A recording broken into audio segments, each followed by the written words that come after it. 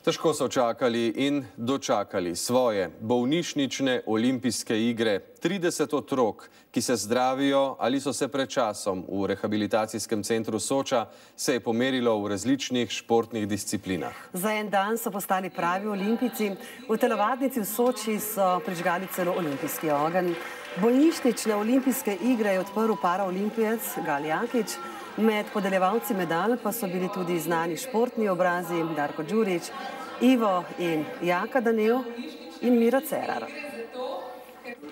Telovadnica je postala čisto pravi stadion in vse je bilo nared za začetek olimpijskih iger. Veseljem tele bolnišnične olimpijske igre razglašam za odprte. Zagorel je tudi čisto pravi olimpijski ogenj. V očeh otrok se je leskatala sreča in veselje. Danes je bilo pomembno samo eno – sodelovati. A se zabavam, pa s prijatelji družim. Vsi smo po eni strani dobri, bomo pa videli, pač, kdo bo najboljši.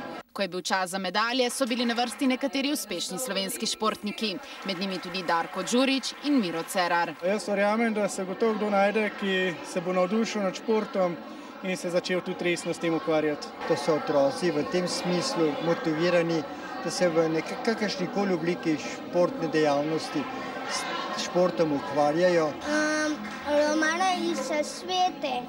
Kaj to pomeni, da si bil kjer? Um, prvi sem bil.